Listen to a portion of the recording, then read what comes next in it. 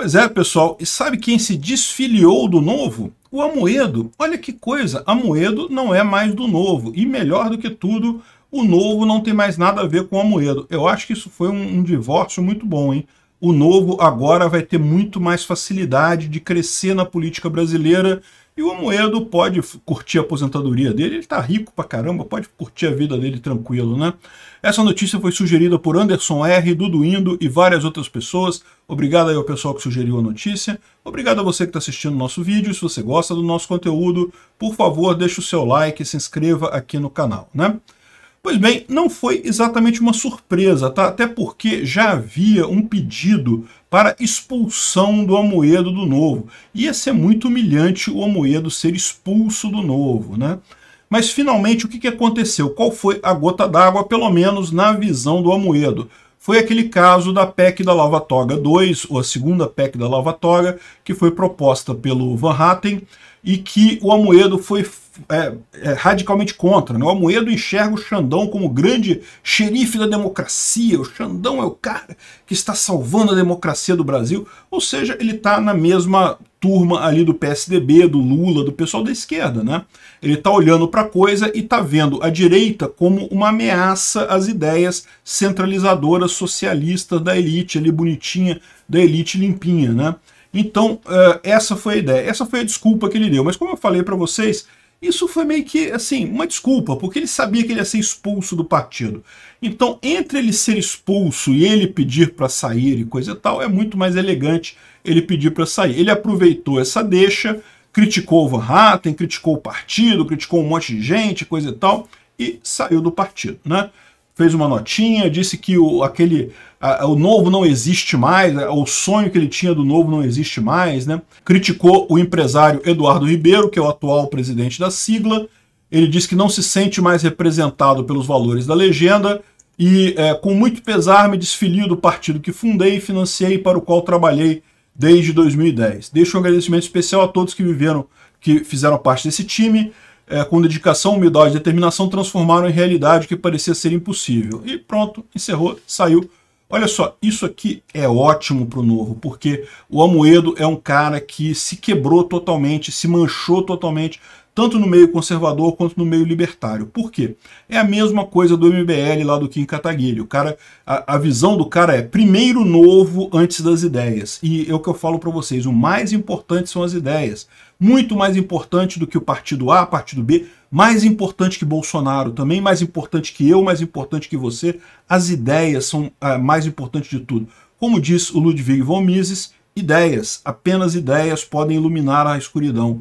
E qual que é o problema do novo? O Bolsonaro seguiu com várias ideias do novo. E algumas ideias até que eram além do que o novo queria. Né? O novo nunca foi, por exemplo, um partido focado em, em armamento na liberdade de você ter armas. Né? Eles sempre tiveram uma posição meio dúbia nisso daí. Num primeiro momento, quando. Você sabe, eu cheguei a ser filiado ao Novo, né? Eu fui filiado por dois anos ao Novo, depois eu acabei saindo.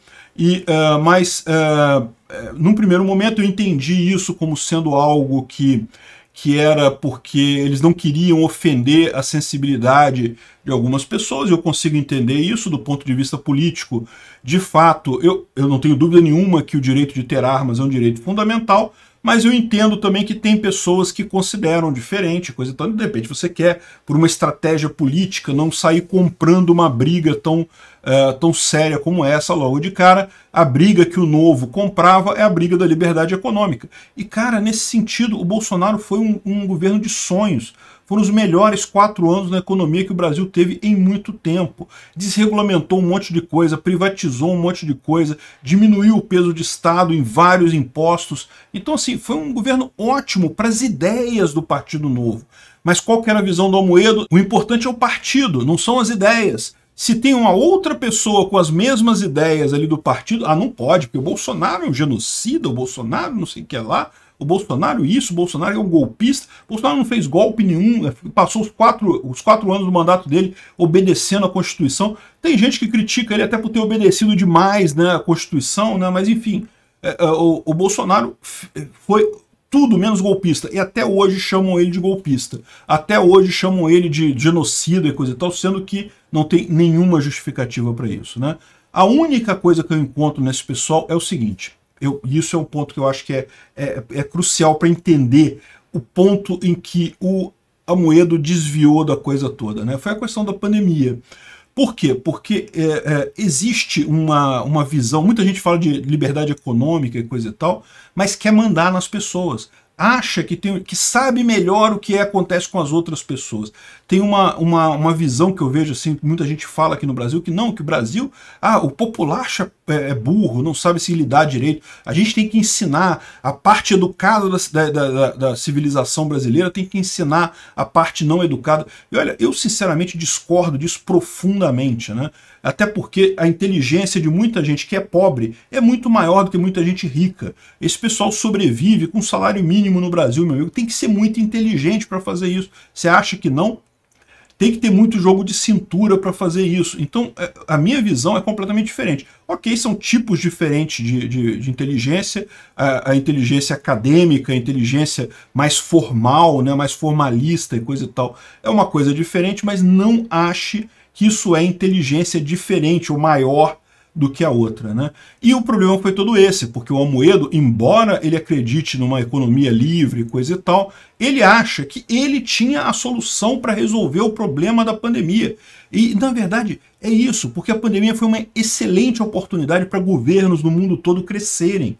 Vários governos cresceram de tamanho assustadoramente. Aqui no Brasil a gente teve a sorte, a enorme sorte de Bolsonaro estar no poder e o governo, ao invés de crescer, diminuiu de tamanho. E aí o que aconteceu? Ficaram os políticos todos assim, meu Deus, eu podia ter usado isso para crescer mais, para roubar mais a população, para mandar mais nos outros, podia ter feito muito mais intromissão na vida das pessoas, mandar muito mais enquanto as pessoas estavam assustadas. O Bolsonaro não quis fazer isso. O Bolsonaro respeitou a liberdade das pessoas.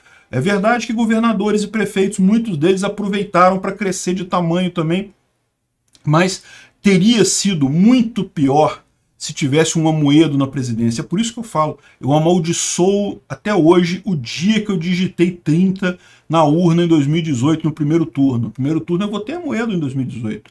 Eu queria cortar esse dedo fora porque eu amaldiçoo ele, porque eu fico imaginando, se fosse o Amoedo presidente do Brasil agora, ou, ou durante a pandemia, a gente estava ferrado, meu amigo. A gente estava igual na, na, na, Austrália, na China, com política de Covid zero, com todo mundo só podendo sair com celular com QR Code amarelo ou branco, sei lá qual a cor do que. Porque o vermelho não pode, o vermelho está contaminado e coisa e tal.